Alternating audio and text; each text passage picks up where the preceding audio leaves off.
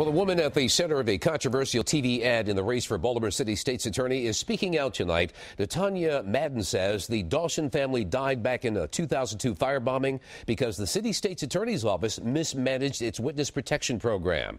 11 News I-Team reporter David Collins has uncovered some new information about how the protection offer was actually handled. He joins us live from the newsroom with that story. David?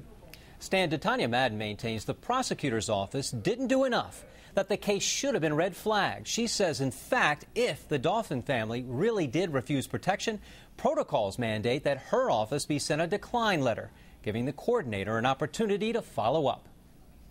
We lost five children and their parents because the state's attorney's office mismanaged the program. Ditanya Madden was not only in charge of the witness security program, she took steps to improve it.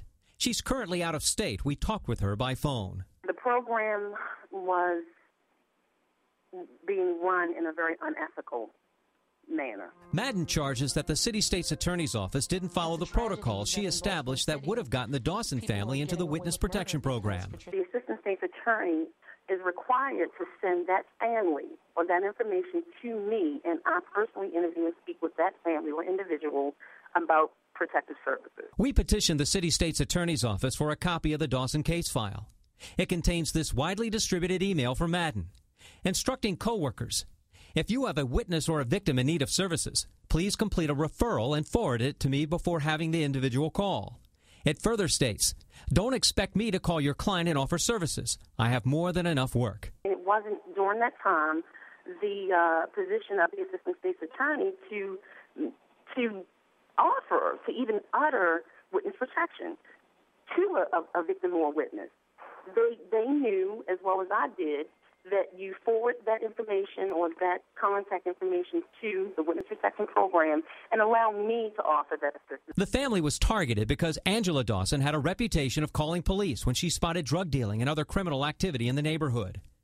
In a letter to the prosecutor's office, Angela details two incidents in which bricks were thrown through her windows. On another occasion, someone threw a pipe bomb through the kitchen window. And despite choking smoke and intense heat, she managed to get everyone out of the house and extinguish the fire. It was after that incident the state's attorney's office asked to meet with Angela. Madden says she doesn't recall Assistant State's Attorney Katie Moxley seeking a referral form. But at the top of the forms page indicates Madden sent it October 3, 2002 at 3:49 p.m. According to these prosecution notes, Moxley talked with Angela, then called Madden regarding witness protection, and she faxed over the form. There was never a conversation between Kate Moxley and I.